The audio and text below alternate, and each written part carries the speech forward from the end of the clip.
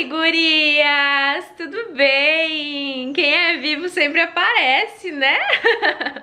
Não sei se vocês repararam, mas eu fiquei aí duas semaninhas sem postar vídeos pra vocês aqui no YouTube, mas estou de volta, não sumi, não desapareci, não vou abandonar o YouTube, nada disso. Então estou de volta, tive alguns contratempos é, com um programa que a gente trabalha aqui em casa, então isso atrasou demais a nossa demanda de serviço e aí eu tive que abrir mão de algumas coisas, como foi, né, os vídeos aqui do YouTube, pra conseguir dar conta de outras coisas que eu tinha pra fazer. Mas foram só essas duas semaninhas, agora a gente já vai voltar ativa novamente. Hoje é sábado, sábado! E aí tô aqui em casa, gente, de boas, e agora eu vou ler um livro. Esse daqui, na verdade, foi o Bruno que escolheu, que é o Pai Rico, Pai Pobre. E eu tô lendo a biografia da Michelle Obama. Então, Tô aqui com o meu Kindlezinho, aproveitando essa tarde de sábado delícia que tá fazendo por aqui. E durante o vídeo a gente bate mais papo, tá bom, gente?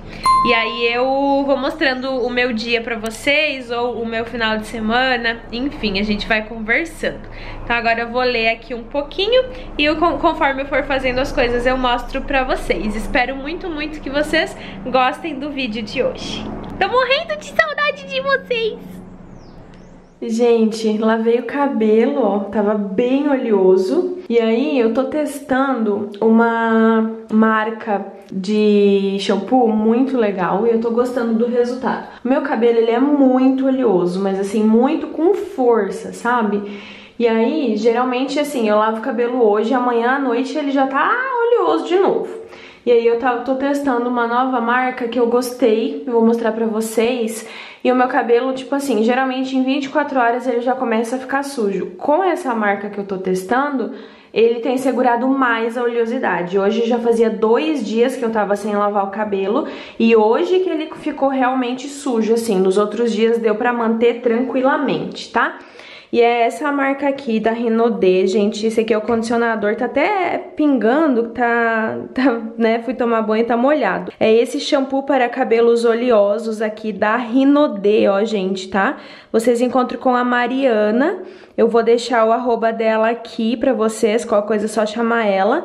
Esse daqui é o shampoo e esse daqui é o condicionador, tá, gente? Ele tem melaleuca, extrato de melaleuca e assim, eu lavei há dois dias atrás e geralmente se fosse com outro shampoo, é, em um dia meu cabelo já ficaria sujo.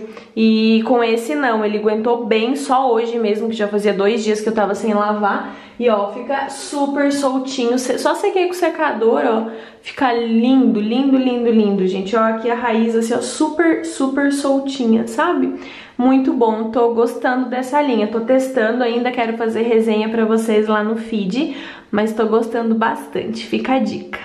E agora vou assistir série. Tô na quarta temporada, no quinto episódio. E a Bonita já tava aqui esperando a minha pipoquinha.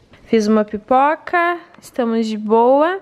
E aí, gente, lembra que eu falei que a terceira temporada tava bem enrolada? A quarta temporada tá muito melhor do que a terceira. Eu assisti a terceira e agora eu tô na quarta temporada de Ponto Cego. É a penúltima, acaba na quinta temporada, só que na Netflix só tem até a quarta por enquanto. Então eu tô assistindo aqui e tá muito melhor a quarta temporada do que a terceira, gente. Se vocês estão na terceira, aguenta firme que a quarta fica boa.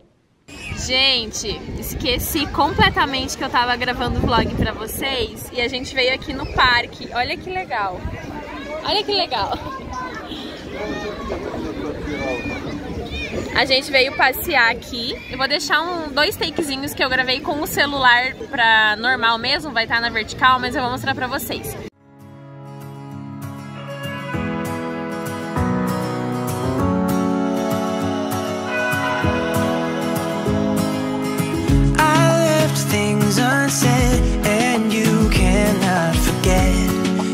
Mistakes haunt us But do they really daunt us? Your tongue can be sharp Cut me close to the heart But we can master the art And the thing is that these scars Are scary but they are Just small scars We should never be afraid of them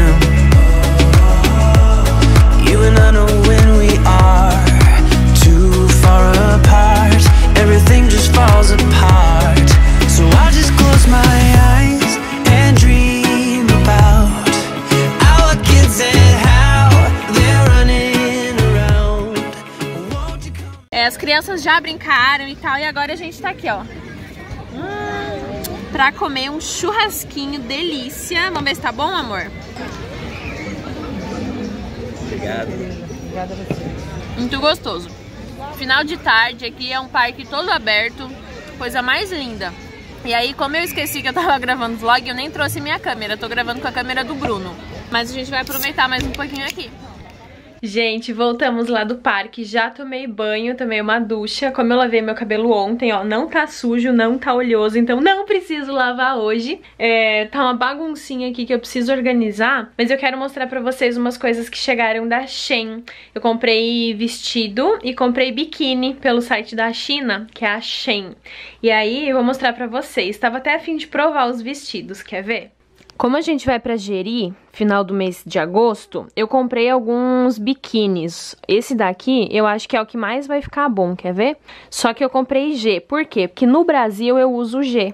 Só que, gente, veio umas calcinhas que, assim, é do tamanho da minha avó. Vocês não estão entendendo. Vou mandar lá pra Dona Edith usar meus biquíni, porque vocês não estão entendendo. Olha o tamanho dessas calcinhas, gente. Eu peguei G porque no Brasil eu uso G. Só que tá gigante, gente. É, um, é uns G, tipo, muito G, sabe? Muito grande. Eu vou ter que mandar na costureira diminuir. Olha o tamanho dessa calcinha, gente. Eu vou pegar uma calcinha minha pra vocês verem a, a diferença. Só pra vocês terem uma ideia. Essa aqui é uma calcinha que me serve, que eu comprei ano passado. Eu acho que ela tá sem etiqueta, gente. Mas ela é uma calcinha AG. Eu sempre uso calcinha AG no Brasil porque eu sou alta. Então, se eu pegar a calcinha M, fica curto aqui no cofrinho, sabe? Fica aquele cofrinho pra fora, um ridículo, horroroso. Então, olha a diferença de uma calcinha pra outra. Sendo que as duas são G. Olha o tamanho disso aqui, gente. É uma lona de circo, mas isso não é o pior. O pior é a azul. Gente do céu, olha o tamanho dessa. A minha mão, olha o tamanho. Comparado com uma calcinha que me serve. Olha isso, gente. Deixa eu até botar em cima. Dá pra fazer quase duas. Olha a diferença de uma calcinha grande no Brasil e uma calcinha grande na China. Isso que as chinesas são tudo pequenininha, né? A, a, fama de, de moda chinesa é que vem tudo pequeno. Então, eu ah, vou pegar a G, porque, né? Olha a diferença, gente. Meu Deus. Mas vou mostrar os biquínis pra vocês mesmo, assim. Ignorem o tamanho. Vou mostrar mais o, o né, o, as cores e os modelinhos que eu escolhi. Então, vou arrumar aqui e vou mostrar pra vocês. Olha, gente, essas são as cores dos biquínis que eu comprei e eu vou deixar, se eu encontrar, vou deixar o link dos biquínis pra vocês aqui no box de informação, porque eu paguei na média de 40 reais cada par, então é muito barato, comparando que geralmente em algumas lojas você paga tipo 69, 79 apenas uma peça, eu paguei 40 reais o par. Essa daqui veio duas calcinhas, eu não tinha visto, gente, juro que eu não tinha percebido, veio duas calcinhas. Agora eu não sei se tá certo, se veio a mais ou o que, é a mesma estampa estampa praticamente, sabe, ó, mesma estampa. E as duas veio no L, que é large, né, que é L deles, ó, L, tá vendo? É large, que é grande. Então, o S é small, que é pequeno, o M é médio e o L é large, que é o grande, né? E aí, aqui, desse daqui, gente, desse conjunto, eu peguei ainda com uma saída de praia. Veio, tipo, uma saia, coisa mais... Olha, a qualidade é muito boa, tá, gente? Às vezes a gente tem preconceito de comprar coisa da China, porque a gente, né, é uma loteria. Mas a qualidade disso aqui, ó, veio bem costuradinho, tá vendo? Ó, bem costuradinho mesmo, assim, sabe? Então, amei a qualidade pra mim. Tá certo que ainda não usei e não lavei, né? Então, não sei se não vai desmanchar na primeira lavagem. Oremos para que não. Mas então veio esse, eu gosto muito de biquíni cortininha. Então, aqui com as duas calcinhas, vou mandar diminuir as duas. Aqui o azulzinho também de cortininha, ó, e aqui dá pra juntar, ele tá todo aberto, mas você junta ele, ele fica mais apertadinho assim, ó. Aí aqui a lona de circo, vulgo a calcinha. Gente, não tive nem coragem de vestir isso aqui. Vou vestir pra ver como é que fica no corpo. Só não vou mostrar pra vocês, porque, né, vai ficar ridículo. Aí aqui eu escolhi um vermelho, também de cortininha, ó. Só que esse daqui é fixo, ele não junta, tá vendo? Esse daqui ele junta. Esse daqui não, é fixo. Também com essa calcinha. E esse daqui, ele é diferente. Ele é tipo um sutiazinho assim, ó, tá vendo? Assim. E ele tem esse lacinho. Aqui, o lacinho fica assim pra baixo. Muito bonitinho com a calcinha também, calcinha branquinha com esse detalhezinho aqui. Mas como todas as calcinhas ficaram grandes, eu vou levar na costureira ajustar. Mas eu quis mostrar pra vocês é, as cores e tal, né? A gente tem várias viagens pra praia marcado, a gente vai para Jeri, então eu moro na praia também, né? Mais um motivo pra gente ter uns biquínis diferentes. E agora eu vou mostrar os vestidos que eu escolhi. Vou mostrar pra vocês, ignore as crianças mortas lá nas caminhas, ó, porque tavam, foram passear, né? Meu cabelo também tava um coque, acabei de soltar, então o cabelo também tá horrível. Mas, gente, o que importa é o vestido, tá? Vocês ignorem o resto. Olha só, gente, achei uma gracinha é, vestido tamanho M, tá? Porque lá na Shein tem, assim, pra você tirar a medida do... Tem lá as medidas do vestido e aí você tira a medida do seu busto. Ah, 90 de busto, é, sei lá, 60 de cintura, 70 de cintura, 100... Acho que essas minhas medidas, 90 de de busto, 70 de cintura e 100 de quadril, né, de bumbum. E aí ele vem aqui com uma fita para você amarrar, ó, aqui, tá vendo, ó? Muito legal, só que ele já é costurado. Ele é... Opa! Sutiã bege. Sutiã bege, gente. E aí ele vem assim, ó. Então... Mas só que ele não... Ele é costurado, tá vendo? Mas o que eu vou fazer? Gostei muito, só que aqui, como vocês podem ver, os peitos abrem, né? Então eu vou fazer um... Vou pedir assim pra costureira... Costureira? vou pedir pra costureira Leila colocar um ponto aqui, ó. Que aí não abre. Aí não mostra as peitas. Tá vendo? Mas ó que bonito. Achei muito bonitinho, tem uma fenda, uh, ó, que perigoso. Mas, nem aparece, ó. Gostei muito, coloquei até uma rasteirinha branca. Adorei, gente, adorei. Eu paguei na média de, acho que foi 80, 80, 80 reais cada vestido. Achei muito legal, gostei muito dessa manguinha, eu achei que ia ficar meio senhora. Mas eu gostei bastante, gente, ó. Gostei bastante. E só tenho que ajeitar esse peito aqui, colocar o negócio, porque não tenho assim muito peito, né, gente? Deixa eu até dar uma puxadinha assim pra cima. Não tenho muito peito pra encher isso aqui não, gente. Eu tenho peito normal. Não é nem grande nem pequeno. É um peito natural, normal. E, ó, gostei, viu? Achei bonito. Vou lá provar os outros. Gente, esse daqui é o, ter o terceiro, não, segundo vestido. Ele é assim, também tem esses desenhos de flores, ó, florzinhas. Aí ele amarra aqui, ó, tá vendo? Então aqui tem botões, mas é só pra bonito mesmo. Aqui tem botões, mas, gente, vou mostrar meu rosto, não sei se vocês vão perceber. Olha o quanto realçou as minhas olheiras. Definitivamente esse tipo de verde não dá certo pra mim. Eu fui mostrar pro Bruno, tipo assim, eu coloquei o vestido. Quando eu coloquei o vestido, já estranhei, assim, porque, tipo, me deixou péssima. Olha a profundidade que tá a minha olheira com esse vestido. Sendo que eu tava com a mesma cara agora com o vestido vermelho e não ficou tão tão tão funda a olheira. É o tom do vestido. Eu sou mais quente, eu acho. E aí o vestido no verde não ficou tão legal, gente. Não ficou mesmo. Olha isso. O Bruno falou... Eu vesti, ele falou, nossa amor, você tá com uma cara de doente. Falei, realmente, fiquei com uma cara de doente. Então, quando eu usar esse, já sei que quando eu usar verde, usar esse tom de verde, eu tenho que usar maquiagem, porque senão eu fico com muita cara de doente. Olha isso, gente.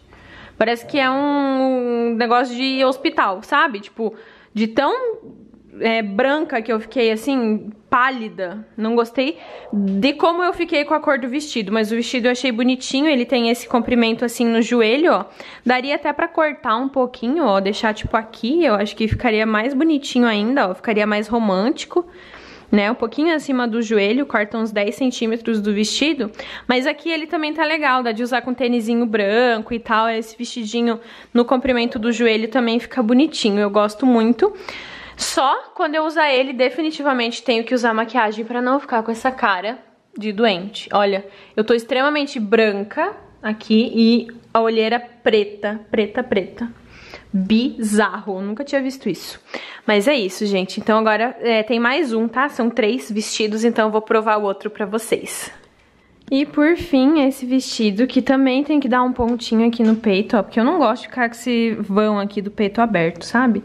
Então eu sempre gosto de deixar assim mais fechadinho. Acho que fica melhor, mais confortável, não precisa ficar se preocupando se o peito vai estar tá aparecendo e tal. Mas ó, gostei. Aí ele também tem essa fita aqui, ó, pra amarrar, tá vendo? Pra colocar aqui.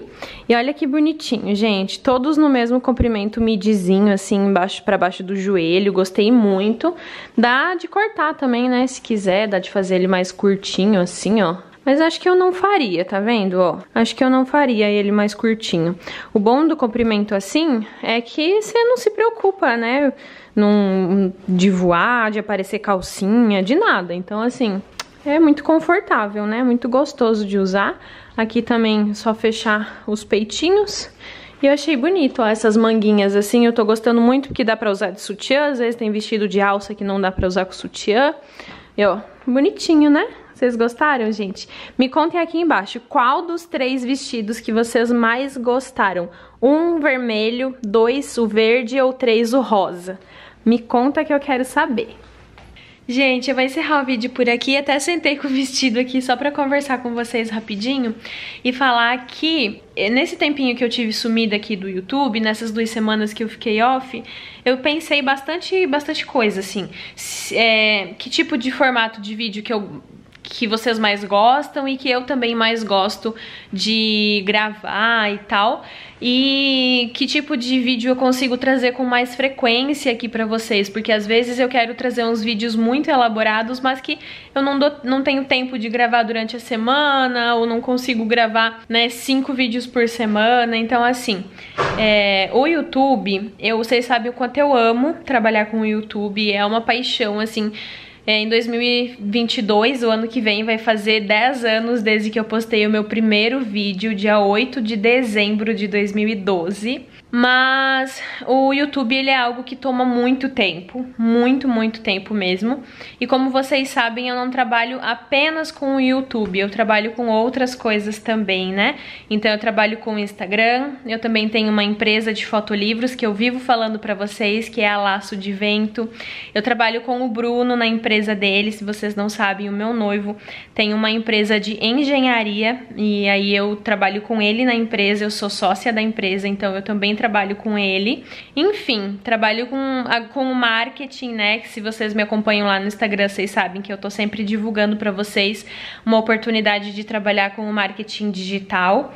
Então, assim, são muitas coisas. E por isso eu não estou mais conseguindo gravar vídeos aqui pro YouTube todos os dias. Porque a gente tem que fazer uma escolha, né? A gente tem que ver o que tá dando certo e focar no que tá dando certo. Então, eu preciso me dividi em muitas, assim.